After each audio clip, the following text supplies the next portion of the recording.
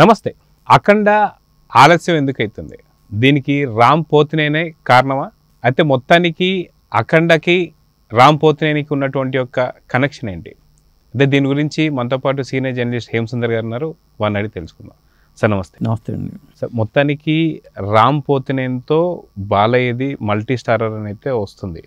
అయితే ఈ సినిమా గురించైనా అఖండ ఆలస్యం అవుతుంది అంటే ఏమంటారు? అంటే దాని గురించి ఆలస్యం అవడం అయితే కాదండి.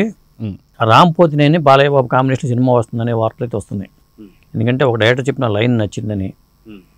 అందులో భాగంగానే ఓకే చెప్పారనేది సమాచారం. అయితే అఖండ టూ కూడా బోయపాటి కథ రెడీ చేసుకున్నాడు. ఇదిగో స్టార్ట్ అయిపోతుందని చెప్పి వార్తలు కూడా వచ్చినాయి.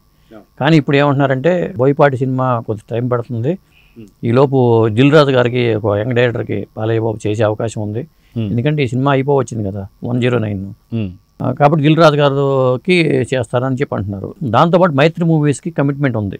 అది మల్లేని గోపిచంద్కి కూడా ఆయన మాట ఇచ్చాడు కాబట్టి గతంలో సినిమా వచ్చింది కాబట్టి. ఇప్పుడు మల్లేని గోపిచంద్ చేస్తాడా రాము బాలయ్య బాబు సినిమాని లేకపోతే ఇంకా వేరే డైరెక్టర్ ఎవరైనా చేయబోతున్నారా. అనేది తెలియదు కానీ వార్తలు ఎందుకంటే రామ్కిను బాలయ్య బాబుకి ఉన్న సంబంధాలు కాస్త సాన్నిహిత్యం బాగుంది కాబట్టి. వాళ్ళిద్దరు కాంబినేషన్లో సినిమా వస్తే బాగుంటుంది. ఎందుకంటే ఇతను ఊర మాసే అతను ఊర మాసే కాబట్టి ఇద్దరు మాసులు కలిస్తే ఒక విధంగా ఒక యంగ్ హీరోకి ఒక సీనియర్ హీరోకి కాంబినేషన్ అయితే బాగుంది. అఖండ టూ వాయిదా పట్టడానికి కారణం అయితే అది కాదనేది సమాచారం. దానికి కారణం ఏంటంటే అఖండ టూ ఏంటంటే యాంటీ గవర్నమెంట్ ఎలిమెంట్స్ ఆ కథలో చాలా చూపించారట. ఎందుకంటే ఎలక్షన్స్ ముందే కథను ప్రిపేర్ చేసుకున్నారు కాబట్టి కొద్దిగా గవర్నమెంట్ మీద విమర్శనాత్మకంగా ఉండే డైలాగ్స్ కానీ ఆ సన్నివేశాలు కానీ ఉన్నాయనేది సమాచారం. అలాగే పవర్ స్టార్ పవన్ కళ్యాణ్ హరీష్ ఉస్తాద్ భగత్ సింగ్లో కూడా యాంటీ గవర్నమెంట్ ఎలిమెంట్స్ అన్ని చాలా పెట్టుకున్నారట. ఉమ్, ఉమ్, ఇప్పుడు ఈ రెండు సినిమా కథలలో కూడా కొన్ని మార్పులు చేసుకుని మళ్ళీ ఫ్రెష్గా కథను తయారు చేసుకుని పాత కథకి కొంత కలుపుకుని ఆ విమర్శలు ఉన్నాయి తీసేసి ఏదో ఆ కథ మీద కసరత్తులు చేస్తున్నట్టుగా సమాచార వార్తలు అయితే వస్తున్నాయి. ఉస్తాద్ భగత్ సింగ్లో కూడా అలాంటి మార్పులు చేర్పులు చేస్తున్నారనే సమాచారం అయితే ఉంది. ఆ కారణంగా లేట్ అవ్వచ్చేమో కానీ. ఈ కారణం కాదు. సో మొత్తానికి రామ్ పోతినేనితో బాలకృష్ణ. అయితే ఈ ఇద్దరి కాంబినేషన్ గురించి అయితే కొంత క్రేజీ కాంబినేషన్ అని చెప్పుకోవాలి. సో మొత్తానికి ఎలాంటి క్యారెక్టర్స్ ఉండబోతున్నాయంటే ఏం చెప్తారు? ఈ మధ్యకాలంలో పెద్ద హీరోలందరూ కూడా వాళ్ళతో పాటు ఇంకొక హీరోని పెట్టుకుని చేస్తున్నారండి. ఇప్పుడు చిరంజీవి గారి సినిమాలు కావచ్చు రా రజనీకాంత్ కావచ్చు అందరూ కూడా ఆ ప్యాటర్న్లో వెళ్ళిపోతున్నారు. కాబట్టి ఇప్పుడు బాలయ్య బాబు సినిమాల్లో కూడా ఇప్పుడు మోక్షజ్ఞ ఎంట్రీ అయినప్పుడు కూడా మరి బాలయ్య బాబు కూడా ఉండే అవకాశం అయితే ఉంది ఆ సినిమాల్లో కూడా. అలాగే మరి బాలయ్య బాబు సినిమాల్లో రామ్ ఉండటం అనేది కూడా ఒక ప్లస్ పాయింట్ చెప్పాలి. ఇప్పుడు గాడ్ ఫాదర్ చేసినప్పుడు సల్మాన్ ఖాన్ లాంటి వాళ్ళు చేశారు. రజనీకాంత్ జైలర్లో వచ్చి మోహన్ లాల్ వీళ్ళందరూ చేసుకున్నా వచ్చారు కాబట్టి శివరాజ్ కుమార్ కానీ వీళ్ళు చేశారు కాబట్టి అలాగే బాలయ్య బాబు సినిమాల్లో కూడా అలా ప్లాన్ చేసుకుని వెళ్తున్నట్టుగా సమాచారం అయితే ఉంది. కాబట్టి ఇవాళ థియేటర్కి జనం రావాలన్నా కానీ ఒక ఏదో ఒక క్రేజ్ అనేది క్రియేట్ అవ్వాలి. కాబట్టి వచ్చే సినిమాలు రాబోయే సినిమాలు అన్నింటిలో కూడా ఈ తరహాలోనే ప్యాడింగ్ పెట్టుకుంటున్నారు. ఇప్పుడు మలయాళంలో ఎక్కడో ఉన్న పాత భాషలు తీసుకొచ్చి సినిమాలో పెడుతున్నారంటే కారణం ఏంటంటే కొద్దిగా ఆ క్రేజ్ కూడా యాడ్ అయితే. సినిమాకి ఇతర రాష్ట్రాల్లో కూడా మంచి హైప్ రావడానికి వసూలు చేసుకోవడానికి కూడా బాగుంటుందనే ఉద్దేశంతో కూడా కొంత కావచ్చు. అయితే మల్టీ స్టార్ సినిమాలు ఏవైతే ఉన్నాయో తెలుగు కాకుండా మిగతా వాటిల్లో ఎవరైతే నెక్స్ట్ హీరోగా కానీ లేకపోతే సెకండ్ హీరోగా కానీ లేదంటే వరకు పాజిటివ్గా ఉన్నటువంటి క్యారెక్టర్స్ మనం చూస్తూ వస్తున్నాం. కానీ తెలుగుకి వచ్చేసరికి ఇతర రాష్ట్రాల నుంచి వచ్చేటువంటి యొక్క నటులు ఎవరైతే ఉన్నారో వాళ్ళందరూ కూడా విలన్లకే పరిమితం అవుతున్నారు కానీ నెక్స్ట్ హీరోగా అయితే మనం ఎప్పుడు చూడలేదు. సో నెక్స్ట్ రానున్నటువంటి యొక్క భవిష్యత్తులో ఇలాంటి సినిమాలు కూడా వచ్చే అవకాశం ఉన్నాయంటారా? ఖచ్చితంగా ఉంటాయి. ఇప్పుడు దాకా ఏంటంటే తెలుగు వాళ్ళే ఈ తరహాలో మన వాళ్ళు ఇప్పుడు ఇండియన్ సినిమాలో తెలుగు వాళ్ళ హవా నడుస్తుంది ఇప్పుడు ఈ హవా నడుస్తున్నప్పుడు వీళ్ళు అడిగినప్పుడు ఇట్లాంటి పాత్ర చూసుకుంటున్నారు కానీ వేరే హీరోలు మలయాళంలో పాత ఫాజులు తను మంచి మంచి హిట్లు ఇచ్చాడు హీరోగా బాగా హిట్లు ఉన్నాయి అతనికి. కానీ ఇక్కడికి వచ్చేసరికి నెగిటివ్ షేడ్ అనే పాత్రలు చేస్తున్నారంటే కంటెంట్ మీద నమ్మకం తెలుగు దర్శకుల మీద నమ్మకంతో వాళ్ళు ఒప్పుకుంటున్నారు. కొన్ని సందర్భాల్లో రేపొద్దున హీరోలుగా కూడా పెట్టుకోవచ్చు వాళ్ళని. ఇవాళ హీరోకి విలన్కి ఉన్న గ్యాప్ అనేది పోయి చెరిగిపోయింది. ఉమ్, ఇప్పుడు నెగిటివ్ షేడ్ ఉన్న పాత్రలో ఉమ్, ఇప్పుడు దేవర చేసిన ఎన్టీఆర్ మరి వార్ టూలో నెగిటివ్ షేడ్ ఉన్న పాత్ర పోషిస్తున్నాడని చెప్పి అంటున్నారు. ఒక విధంగా చెప్పాలి నెగిటివ్ షేడ్స్ ఉన్న పాత్రకే మంచి పేరు వస్తుంది. ఇప్పుడు మనకు పుష్పాలు అల్లు అర్జున్కి ఎంత పేరు వచ్చిందో అంతకి మించిన పేరు ఫహద్ ఫాజిల్ కూడా వచ్చింది. కాబట్టి వాళ్ళు చేస్తున్నారు. ఎక్కువ పేరు రావడానికి ఇప్పుడు సంజయ్ దత్ కానీ మరి కల్నాయక్ లాంటి సినిమాలు చేసి మరి ఎన్నో హిట్లు ఇచ్చిన సంజయ్ దత్ విలన్గా చేసుకోవాల్సిన పరిస్థితి వచ్చేసింది. మరి హిట్లు ఇచ్చిన బాబీ డియోలు విలన్గా చేసుకోవాల్సిన పరిస్థితి వచ్చింది. అర్జున్ రాంపాల్ హీరోగా చేశాడు విలన్గా చేస్తున్నారు. ఇలాంటివన్నీ వస్తున్నాయి.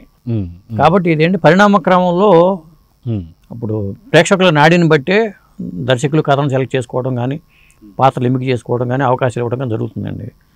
మనకి సినిమా ముఖ్యం కానీ పాత్ర ఏదైతే అనుకుంటాడు నటుడు అనేవాడికి నేను హీరోని చేస్తాను నేను వేరే చేయను నాకు గ్లామర్ పాత్ర కావాలి డీ గ్లామర్ పాత్ర వద్దనుకుంటే పాత్రలు పోతాయి.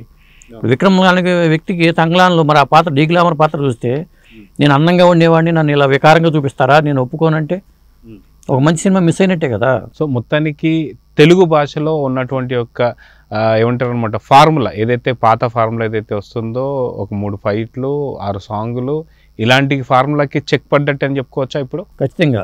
ఎందుకంటే పాటలతో సినిమాలు చూసే రోజులు పోయినాయండి. ఆ రోజులు వేరు ఆ ట్రెండ్ వేరు. ఇప్పుడు పాటలు కాదు ఇప్పుడు బాలయ్య బాబు సినిమాలు ఉన్నాయి. పాటల కన్నా ఆ బాలయ్య బాబు ఫైట్స్కే ఎక్కువ ఇంపార్టెన్స్ ఉంది. బాలయ్య బాబు ఉంటే ఆ డైలాగ్స్ మీద కొంత కసరత్ చేయాల్సిన పరిస్థితి వచ్చేసింది.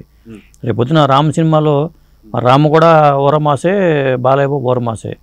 విడతల కాంబినేషన్లో కూడా ఆ తరహాలో పా ఫైట్స్కి వెళ్ళిపోతారు కానీ ఇక పాటల మీద ఫోకస్ పెట్టి రీ రికార్డింగ్ ఎలివేషన్సే ఇవాళ ప్రధానంగా సాగుతుంది. ఎందుకంటే ఒక మల్టీప్లెక్స్లో థియేటర్కి వెళ్ళి చూడాలంటే ఆ తరహాలో ఎలివేషన్స్ ఉంటేనే చూస్తున్నారు తప్పితే చిన్న సినిమాలకి వెళ్ళే పరిస్థితి అయితే కనపట్ల గతంలో జైలర్ కూడా రీ రికార్డింగ్ కావచ్చు బీజిఎం కావచ్చు. ఎలివేషన్స్ కావచ్చు వీటి గురించే హిట్ అయిందని చెప్పేసి కేజీఎఫ్ కానీ ఎలివేషన్స్ ఎట్లా ఎలివేషన్స్ ఇచ్చారు అది? ఆ, ఈ డైరెక్టర్ పలానా ఎలివేషన్ షాట్స్ బాగా తీస్తున్నారంటే ఆ డైరెక్టర్కి ఛాన్స్ వస్తున్నాయి.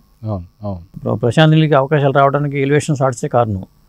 ఇట్లాంటి ఇప్పుడు బాలయ్య బాబుని కూడా అట్లా ఎలివేట్ చేస్తున్నారు బాగా. అందువల్ల హీరోలకి అది ప్లస్ అవుతుంది. హీరోలు కూడా అది కోరుకుంటున్నారు కూడా. అయితే రామ్ పోతినేని బాలకృష్ణ గారి సినిమా అదే విధంగా ఎలివేషన్స్తో కూడిన సినిమాగా రావచ్చు అని చెప్పి అనుకోవచ్చు? ఎక్స్పెక్ట్ చేయొచ్చా? నేను అనుకోవటం ఏంటంటే బాలయ్య బాబు రేంజ్ పెరిగింది కాబట్టి ఇప్పుడు రామ్ పోతినేని బాలయ్య బాబు ఇంకా వేరే ప్యాడింగ్ ఆర్టిస్టులు ఉండొచ్చు. ఒక ప్యాండీ తరహాలోనే బాలయ్య బాబుని ప్రొజెక్ట్ చేయడానికే చూస్తున్నారు. డైరెక్టర్లు కూడా అలాంటి కథలతోనే బాలయ్య బాబు ముందుకెళ్తున్నారు. బాలయ్య బాబుకి మార్కెట్ ఇంత ఉందని తెలిసింది. కాబట్టి మార్కెట్ని క్యాప్చర్ చేయాలంటే కొద్దిగా ఆ తరహా కథలతో ముందుకెళ్తేనే బాగుంటుందని అవకాశం ఇచ్చారనుకోండి ఆ తరహా కథలతోనే ముందుకెళ్తున్నారు. కాబట్టి ఇక ముందు రాబోయే సినిమాలన్నీ అది బాలయ్య బాబు కావచ్చు లేదా చిరంజీవి గారు కావచ్చు వీళ్ళకి అవకాశాలు ఉన్నాయి కాబట్టి మార్కెట్ క్రియేట్ అవుతుంది కాబట్టి నడుస్తుంది. మిగతా నాగార్జున కానీ కొద్దిగా వెంకటేష్ కానీ వెనకబడ్డారని చెప్పాలి ఈ విషయంలో. కాబట్టి బాలయ్య బాబులో లైన్లో పడిపోయినట్టు చెప్పాలి. ఇప్పుడు చిరంజీవి గారు బాలయ్య బాబు వీళ్ళిద్దరే కనిపిస్తున్నారు. నువ్వా నేను అన్నట్టుగా ముందుకెళ్తున్నారు. సినిమాలు ఎంపికలోనూ అలాగే జాగ్రత్తలు తీసుకుంటున్నారు. చూడాలి ఏం జరుగుతుందో. అయితే గతంలో చూసుకుంటే చిరంజీవి గారితో రవితేజ కావచ్చు లేదంటే చాలా మంది మనం చూస్తూ వస్తున్నాం మల్టీ స్టార్ చేశారు. అదే విధంగా నాగార్జున గారు కూడా మల్టీ స్టార్ మూవీస్ చాలా చేశారు. ఇదే విధంగా చూసుకుంటే వెంకటేష్తో పవన్ కళ్యాణ్ కలిసి గోపాల గోపాల లాంటి సినిమాలు చూసాం కానీ బాలకృష్ణ గారు మాత్రం మల్టీ స్టార్ మూవీస్ ఇప్పటిదాకా పెద్దగా గుర్తుంచుకునేటువంటి సినిమాలు అయితే నాకు తెలిసే తెలియవు. సో ఇప్పుడు ఇది ఫస్ట్ కాంబినేషన్ అని చెప్పి అనుకోవచ్చా? అంటే ఇంకా రామ్ కన్నా ఒక సీనియర్ హీరోతో ఇప్పుడు బాలయ్య బాబు రవితేజ. ఉమ్, ఆ కాంబినేషన్ మీరు ఊహించుకోండి. అది వేరుగా ఉంటుంది. ఇప్పుడు రామ్ అంటే యంగ్ హీరో. ఒక ఇంకో సీనియర్ హీరో బాలయ్య బాబుతో యాడ్ అయ్యి ఉంటే ఆ కాంబినేషన్కి ఉండే మైలేజ్ వేరు. కాబట్టి అలాంటి హీరోలతో వస్తే మాత్రం ఇంకా వేరే లెవెల్లో ఉంటుంది. ఇప్పుడు చిరంజీవి గారు రవితేజ కాంబినేషన్లో మనం చూసాం. వాళ్ళ వేరే ఏ తరహాలో ఉంది. అదే బాలయ్య బాబు లాంటి వ్యక్తికి రవితేజ లాంటి హీరో తోడైతే అది వేరుగా ఉంటుంది. సో చూద్దాం సార్ మొత్తానికి బాలయ్య గారు కొత్త పందాలు వెళ్తున్నారు మల్టీ స్టార్ మూవీ ఎంచుకుంటున్నారు. సో ఇప్పటికీ ఆయన సింగిల్గానే మనం తట్టుకోలేని పరిస్థితి. సో మళ్ళీ మల్టీ స్టార్ మూవీతో రావడం అనేది సో ఎలాంటి అద్భుతాలు క్రియేట్ చేస్తుందో చూద్దాం మరి. నమస్తే. నమస్తే